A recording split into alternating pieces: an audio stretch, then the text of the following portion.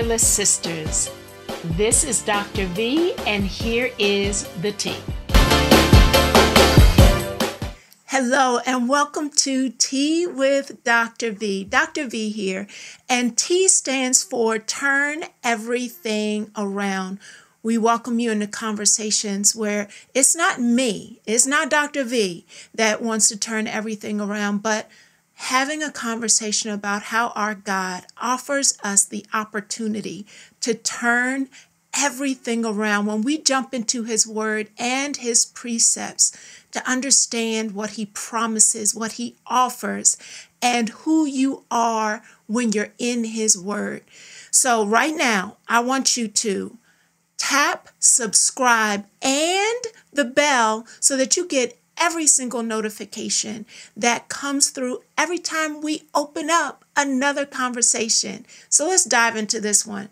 So, when I was sipping my tea during this season and time, when I know there are so many of us who feel like we are running a marathon in the dark, filled with uncertainty, it reminds me of a story that I often tell a running story. You know me.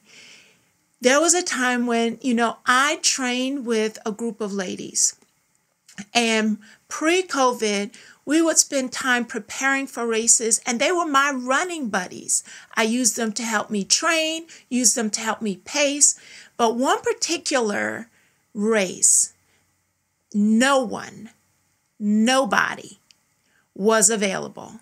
And I had to run this race all by myself. And not only was it a race that I had to run, but it was a race where you ran the entire course in the dark. There were only spots here and there where there were street lights for us to guide our path, but most of the race was run in the dark.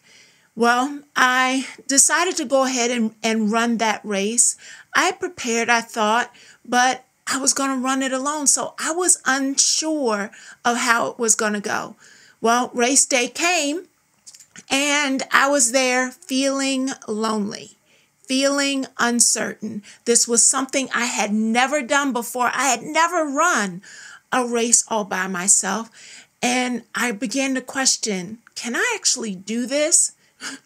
Well, just as soon as I started questioning myself, the gun fired and the race began and i just started running. I just started doing what i normally did. And then there, there, was this woman. I saw her up ahead of me. She was just ahead of where i was. I didn't know her but she seemed to kind of be in pace with what i was used to so i used her as my pacing partner for the whole race I never knew her name, never talked to her, but I stood right behind her and used her pace to help me keep pace in the race. Well, we ran the whole race and and she knew had no idea I was behind her until we got to the end. Just as we were getting towards the finish line, you could see the finish line up ahead. It was just ahead of us on the horizon, but we had to go around a bend in order to actually access the finish line.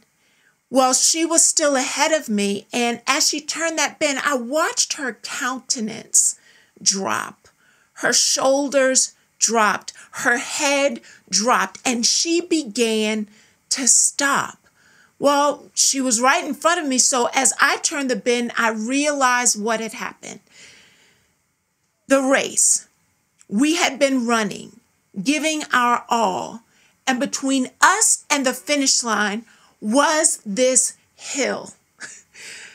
they had the nerve to put a hill at the end of the race between us and the finish line. And in her mind, it was just too much. But I have been using this sister for the whole race. And when I got next to her, I screamed out at her that we have been through too much for you and I to stop now. Finish strong. Come on. We've done too much together. she looked at me and I started sprinting, so she started sprinting. We sprinted that hill and sprinted all the way to the finish line, and I'm screaming the whole time finish strong, finish strong. We crossed the finish line together. She turns to me and grabs me and hugs me and goes off into the dark. I don't know her name to this day. I couldn't even pick her out of a crowd if you asked me to. But for that race, for that moment, running in the dark, where at different points in the race, at the beginning, I wasn't sure I could do it. At the end, she wasn't sure she could do it. We leveraged our power at different moments in time to help each other get to the finish line. And we didn't even have to know each other. In a season like this, where many of us have felt like we are running in the dark, we are uncertain, we're not sure, we're telling ourselves, I don't think I can continue to do this. And people keep screaming, personal self care.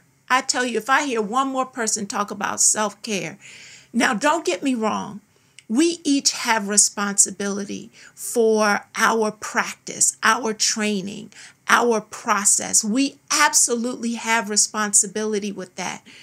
But I'm challenging us to tap into a quote that actually went viral in the middle of the pandemic. And the quote went something like this I'm paraphrasing, but we scream personal care at people who actually need community care and that's how we fail them. Yeah, that resonates with me because even when we have trained and we are prepared, there are moments in time when the weight by ourselves is just too much. And there's an opportunity for us to tap into community care. And that brings me to the word of accountability. But sometimes people use this word looser than it really should be used. See, I'm not talking about accountability by finding somebody to be your cheerleader. I'm talking about accountability where you are finding a collaborator. You see, Proverbs 27 17 references iron sharpens iron. And when we, I want you to just in this moment think about that iron sharpens iron. Do you hear the clang? Do you see the spark in your mind? See, both need to start off as iron, and they were both sharp at one time. They were both once upon a time doing the work that was necessary. They were once both useful in the battle. But in this moment in time, they needed to clang against one another to begin to sharpen each other. When we understand something about iron, iron is actually a fairly soft metal and it is very reactive. It responds to the environment that it is placed in and what it is exposed to. You see, soggy, wet places corrode and rust iron, but dry, heated places make it and keep it useful.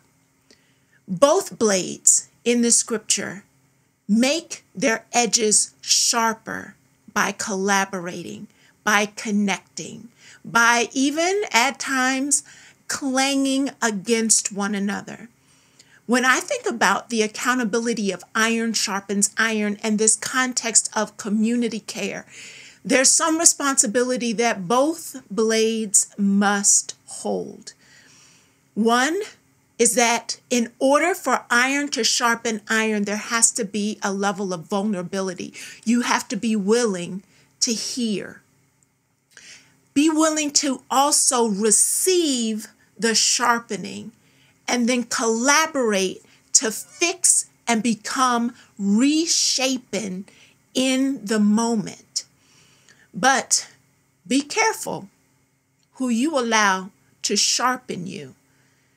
You can't go after or connect with or collaborate with someone who is all about their agenda It has to be someone who is able to listen and be responsive to the dull places that are in you, on you, and coming from you. You see, being willing and able to iron, sharpen iron with someone who is being tooled and guided by the word. Hebrews 4:12 tells us word, our word from our God is sharper than any two-edged sword. So be careful who you allow to sharpen you because this process should be reciprocal. There should be reciprocity in iron sharpens iron because both blades become sharper in the process. That rests in what I often tell people why I'm so stuck on collaboration, so focused on sharing, so guided by making sure that we all win. It's because of this concept of iron sharpens iron, because the process is reciprocal. If we are doing this well, we both get sharpened. Our usefulness both happens in the process of us collaborating.